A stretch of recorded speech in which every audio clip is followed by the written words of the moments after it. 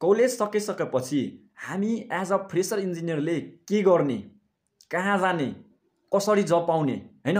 यो कुरामा चाहिँ एकदम अधिकांश एज अ फ्रेसर इन्जिनियरलाई चाहिँ डट हुन्छ। या कि प्रश्न चाहिँ मनमा चाहिँ आइराखेको हुन्छ। होइन? सो यसको बारेमा चाहिँ आजको भिडियोमा हामी बुझ्नेछौँ र त्यसपछि चाहिँ होइन? एज अ हाम्रो रोल चाहिँ के हुन्छ? होइन? एज अ फ्रेसर इन्जिनियरको के रोल हुन्छ? होइन? त्यसपछि हाम्रो चाहिँ कुनै कम्पनीमा हामी जबको लागि गयो भनेदेखि या इन्टरभ्यू हामीले लिन्छ भनेदेखि एज अ कम्पनीले चाहिँ फ्रेसर इन्जिनियरको स्किल देखिन्छ है। यो सबैलाई कुराहरू थाहा होला। होइन? कुन कुन स्किल देखिन्छ? उनले एक्सपेक्ट चाहिँ के राखेको हुन्छ तपाईँमाथि? त्यसको बारेमा हामी बुझ्नेछौँ। र त्यसपछि चाहिँ एज अ फ्रेसर इन्जिनियरको चाहिँ स्यालेरी कति हुन्छ? है? स्यालेरी कति दिन्छ त? होइन? एज अ फ्रेसर इन्जिनियरलाई। त्यसको बारेमा पनि हामी बुझ्नेछौँ। र त्यसपछि चाहिँ हामी के बुझ्नेछौँ भनेदेखि एज अ तपाईँले चाहिँ आफ्नो गोल चाहिँ कसरी सेटअप गर्न सक्नुहुन्छ? एज अ फ्रेसर इन्जिनियर यसको सम्पूर्ण कुराहरू चाहिँ हामी आजको यस भिडियोमा रहेर चाहिँ म तपाईँहरूलाई एकदम इन्फर्मेसन दिनेछु है? सो साथीहरू तपाईँहरूलाई एकदम यो भिडियो चाहिँ एकदम इन्फर्मेटिभ भिडियो हुन्छ किनभने एकदम यो जानकारीमूलक मैले भिडियो अहिले बनाइरहेको छु। सो साथीहरू तपाईँहरू कोही सन्देश सिक्सटी फोर अफिसियल युट्युब च्यानलमा नयाँ हुन्छ भनेदेखि कृपया च्यानललाई पनि सब्सक्राइब गर्नु होला साथीहरू। किनभने म यस्तै यस्तै इन्फर्मेटिभ भिडियोहरू लिएर आइराखेको हुन्छु। ल साथीहरू अब हामी अगाडितिर जाउँ सो सबभन्दा पहिला हामी के बुझौँ भनेदेखि होइन आज चाहिँ हामी पास भइन्छौँ होइन पास भइहाल्छौँ। जब हामी डिग्री लिएर आइहाल्छौँ कलेजलाईबाट बाहिर आउँछौँ भनेदेखि एज अ हामी फ्रेसर इन्जिनियरको रूपमा हुन्छ होइन। अब यति भइसकेपछि हामी बाहिर आयौँ साथ हामीले मान्छेहरूले चाहिँ हामीले प्रश्न गरिरहेको हुन्छ सोधिरहेको हुन्छ के गरिराखेको छौ कहाँ काम गरिराखेको छौ। कति स्यालेरी छ कति कमाइराखेको छौ सम्पूर्ण कुराहरू हामीलाई सोधिरहेको हुन्छ। है?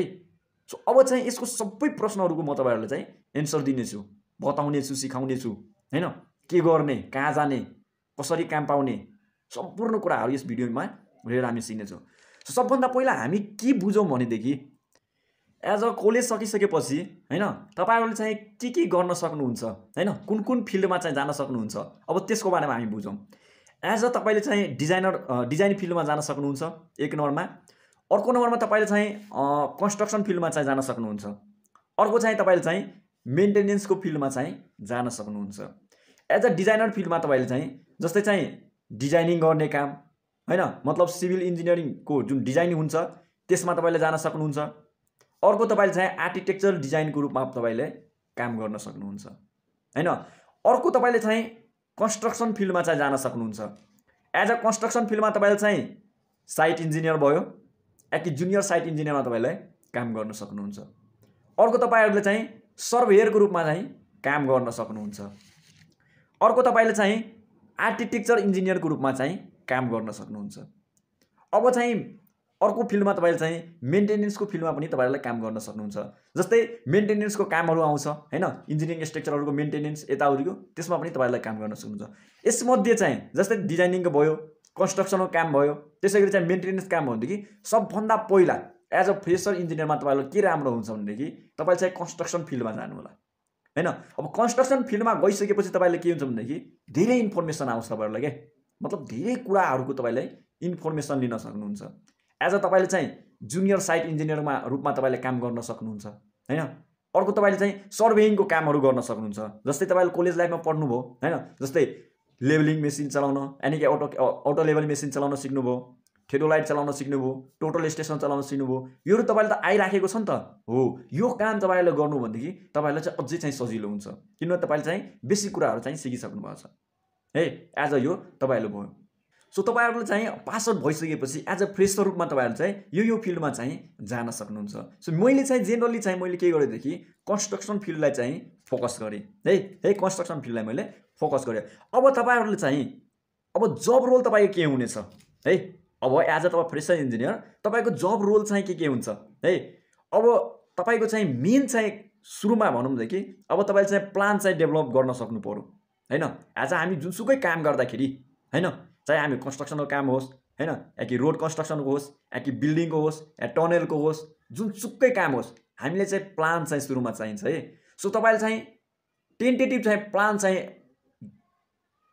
बनाउन सक्नु पऱ्यो अर्को त्यो प्लानको चाहिँ क्यालकुलेसन पनि गर्न सक्नु पऱ्यो एज अ फ्रेसर इन्जिनियर अर्को अब तपाईँले भयो भनेदेखि जस्तै अब जुनसुकै साइडमा काम गर्दाखेरि चाहे बिल्डिङको काम होस् चाहे रोडको काम होस् लेबलिङ नगरिकन हामी काम चाहिँ स्टार्ट गर्न सकिँदैनौँ। सो तपाईँले चाहिँ अटो लेबल मेसिन चाहिँ तपाईँले चलाउन सिक्नु भएको छ। मैले पहिला नै भनिदिएँ हो तपाईँले चाहिँ लेबलिङ गर्न सक्नु पऱ्यो तपाईँले चाहिँ कम्तीमा चाहिँ लेबलिङ पनि गर्न सिक्नु पऱ्यो है र अब यो भइसकेपछि एज अ तपाईँले चाहिँ अब मेटेरियल चाहिँ कुन कुन मेटेरियल लाग्छ? जस्तै सिमेन्ट भयो एग्रिगेट भयो स्यान्ड भयो होइन? त्यसपछि स्टोन भयो ब्रिक्स भयो यति कुराहरूको चाहिँ कति क्वान्टिटी चाहिँ लागिन्छ? कति मेटेरियल चाहिँ लागिन्छ? यसको चाहिँ इस्टिमेट चाहिँ गर्न सक्नु पऱ्यो अर्को चाहिँ तपाईँले चाहिँ जुन हाम्रो बार बेन्डिङ सेड्युल हुन्छ होइन? जसलाई बिबिएस हामी भन्छौँ बार बेन्डिङ सेड्युल त्यो चाहिँ क्यालकुलेसन गर्न सक्नु पऱ्यो अब एज अ तपाईँको चाहिँ साइडमा चाहिँ काम भइरहेको छ होइन? भनेदेखि कति स्टिल चाहिँ त्यहाँ लाउने कतिको कटिङ गर्ने कति ओभरल्याप गर्ने त्यसको लागि चाहिँ तपाईँलाई बार बिल्डिङ सेड्युल चाहिँ तपाईँहरूले चाहिँ थाहा हुनुपर्ने भयो।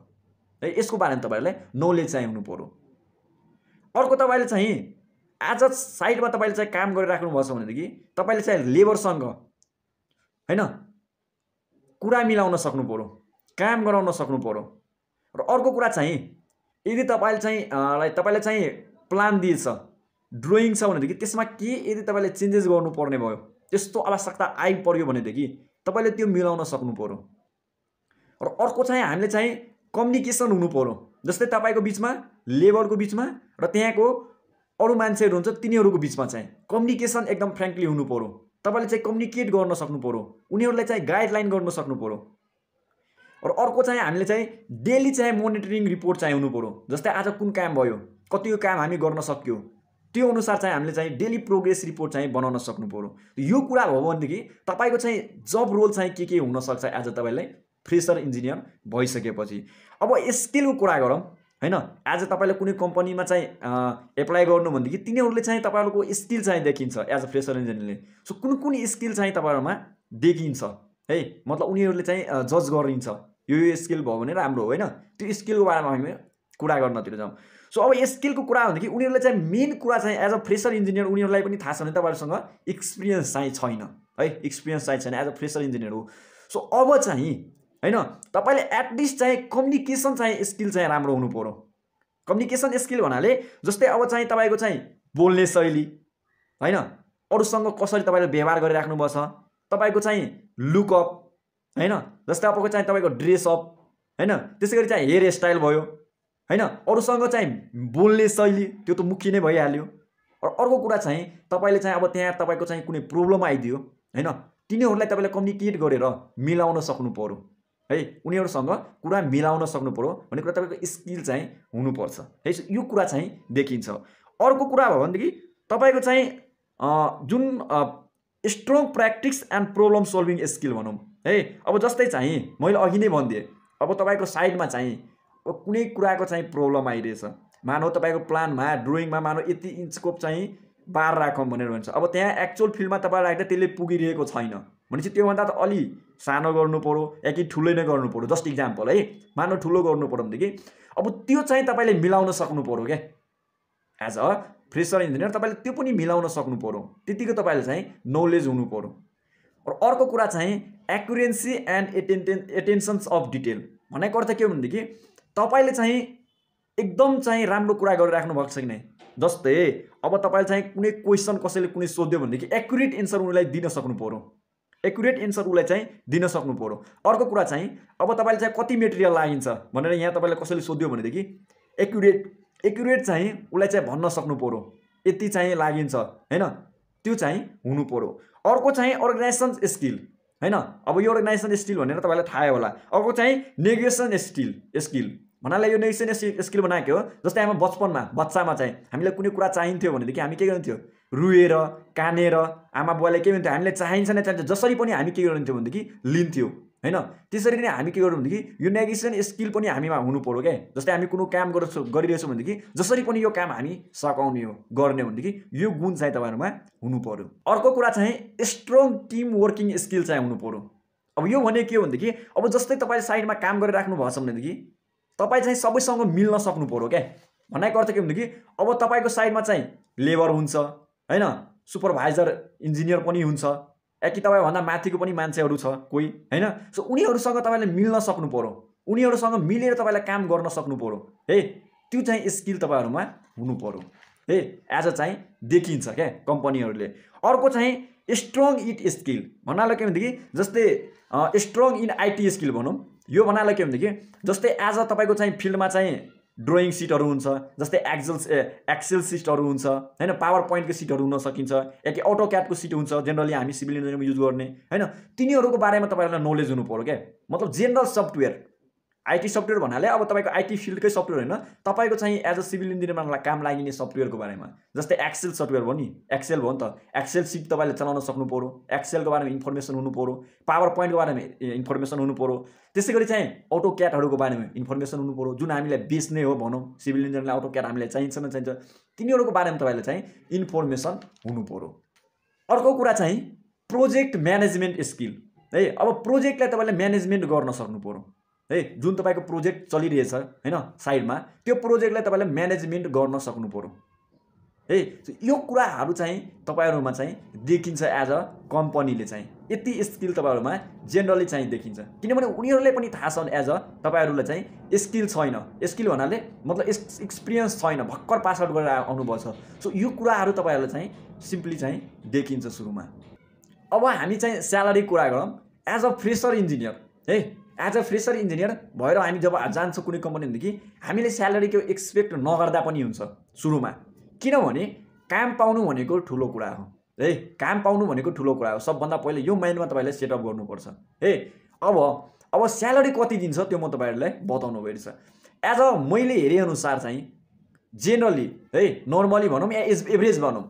एभरेजमा चाहिँ हाम्रो एज अ फ्रेसर इन्जिनियरलाई नेपालमा चाहिँ बिस हजारदेखि पच्चिस हजारसम्म दिइराखेको हुन्छ। सो यो फिक्स चाहिँ छैन है बढी पनि दिन सकिन्छ। एज अ कम्पनी कस्तो छ र तपाईँले चाहिँ कतिको एक्सपिरियन्स रहेछ त्यो अनुसार पनि दिन्छ है। सो जेनरली नर्मली भनौँ या एभरेज भनौँ भनेदेखि बिस हजारदेखि पच्चिस हजारसम्म चाहिँ स्टार्टिङमा चाहिँ दिइरहेको हुन्छ र यो स्यालेरी तपाईँको चाहिँ छ महिनादेखि होइन एक सालसम्म चाहिँ दिन्छ। अब यति दिइसकेपछि त्यसपछि उनीहरूले चाहिँ जज गरिन्छ क्या। एक सालपछि चाहिँ बल्ल जज गरिन्छ। अब तपाईँले चाहिँ तपाईँको चाहिँ योभन्दा अगाडि पठाउन सकिन्छ कि नै? मतलब तपाईँको लेभल जुन अहिले थियो प्रेसरमा त्योभन्दा अगाडि ग्रेस गर्न सकिन्छ कि नै? यदि तपाईँकोमा तबसम्म डेभलप भइसकेको छ नलेज तपाईँले गेन गरिसक्नु भएको छ भनेदेखि तपाईँको स्यालेरी बढाइदिन्छ क्या तपाईँले प्रमोसन गरिदिन्छ भनेर बुझ्दा हुन्छ। है त यो स्यालेरी कुरा भयो है। सो जेनरली बिसदेखि पच्चिस हजार चाहिँ फ्रेसर इन्जिनियरलाई चाहिँ स्यालेरी दिइरहेको हुन्छ। है अब चाहिँ हामी क्यारियर गोल सेटअपतिर जाउँ। होइन आफ्नो क्यारियर त सेटअप गर्नु पऱ्यो नि त। एज अ सो सुरुमा तपाईँले के गर्नुपर्छ भनेदेखि as a civil engineer fresher civil engineer तपाईँले सेट के गर्नुपर्छ भनेदेखि एक्सपिरियन्स कुरा तपाईँले सेटल गर्नुपर्छ। है अब तपाईँले काम गर्नु राख्नुभएको छ भनेदेखि तपाईँको जुनसुकै काम आओस्। है सुरुमा तपाईँ चार साल पाँच साल तपाईँलाई लाग्छ नै लाग्छ भनेर तपाईँ गोलै सेट गर्नु होला चार साल पाँच साल मलाई यो कुरा गर्नुपर्ने छ र as a civil engineer fresher civil engineer तपाईँहरूले चाहिँ के स्किलै हुँदैन क्या सुरुमा। अब स्किल छैन भनेदेखि एक्सपिरियन्स बनाउनु पऱ्यो है एक्सपिरियन्स त छैन या स्किल छैन तपाईँलाई सुरुमा। होइन? त्यतिको छैन नि त। छ र छैन नि त। सो एक्सपिरियन्स चाहिँ सुरुमा चाहिँ बनाउनु पऱ्यो। है सो अब एक्सपिरियन्स कसरी बनाउने? है सो तपाईँहरूलाई चाहिँ जुन जुन अपर्च्युनिटी आउँछ सायद जुनसुकै अपर्च्युनिटी आउँछ जुनसुकै काम आओस् भनेदेखि त्योसँग नडराउनु होला। त्यो काम चाहिँ लिनु होला गर्नु होला। अब त्यसमा चाहिँ धेरै चाहिँ प्रब्लमहरू आउँछ होइन? धेरै कुराहरू बिग्रिन्छ गाली पनि खाइ नसकिन्छ होइन? कुरा पनि सुन्न सकिन्छ तर त्योसँग चाहिँ नडराउनु होला। काम चाहिँ गर्नु के? काम गरेपछि बल्ल चाहिँ के हुन्छ भनेदेखि तपाईँले चाहिँ थाहा पाउन सक्नुहुन्छ क्या यस्तो यस्तो प्रब्लम चाहिँ आउँछ भनेर। है? र अब चाहिँ सपोज चाहिँ कुनै काम तपाईँले गर्नुभयो बिग्रियो।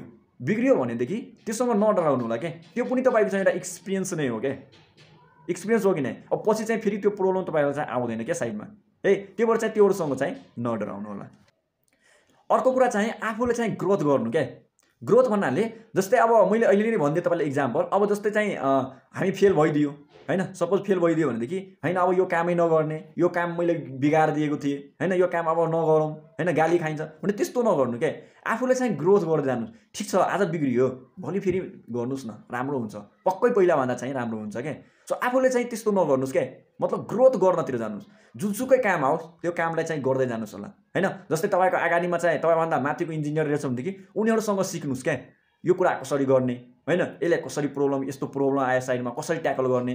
त्योहरू गरिसकेपछि के हुन्छ भनेदेखि ग्रोथ हुन्छ क्या। तपाईँलाई ग्रोथ हुन्छ। अर्को कुरा चाहिँ पढ्न चाहिँ कहिले नछोड्नु होला? है जस्तै अब तपाईँले चाहिँ कुनै प्रब्लम कुनै काम गरिरहेछ गरिराख्नु भएको छ जस्तै साइडमा सर्वे गरिराख्नु भएको छ भने सर्वेमा कुनै प्रब्लम आयो होइन? अब त्यसको बारेमा चाहिँ नलेज लिनु होला। यो प्रब्लमलाई कसरी ट्याकल गर्ने? त्यसको लागि पढ्नु होला। है सो पढ्ने चाहिँ काम कहिले नछोड्नु होला? है सो पढ्नु होला है। पढ्नु भन्नाले जहिले पनि हामी के गर्नु भनेदेखि जुन फिल्डमा तपाईँलाई काम गरिराख्नु भएको छ भनेदेखि त्यो फिल्डको बारेमा चाहिँ रिसर्च गर्नु होला। त्यो फिल्डको बारेमा तपाईँले बुझ्नु होला है? सो यति कुराहरू चाहिँ तपाईँले हेर्नुपर्ने हुन्छ एज अ फ्रेसर इन्जिनियर त साथीहरू तपाईँहरूलाई भिडियो कस्तो लाग्यो है? जस्ता लाग्यो त्यस्तै कमेन्ट गर्नु होला होइन? सो मैले चाहिँ के रिसर्च गरेर होइन? तपाईँहरूलाई चाहिँ यो भिडियो चाहिँ मैले प्रोभाइड गरेको हो।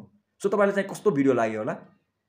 कमेन्ट चाहिँ गर्नु है साथीहरू जस्ताको त्यस्तै। त हस्त साथीहरू फेरि अर्को भिडियोमा भेट्नेछु। तबसम्म लागि बाई बाई टेक केयर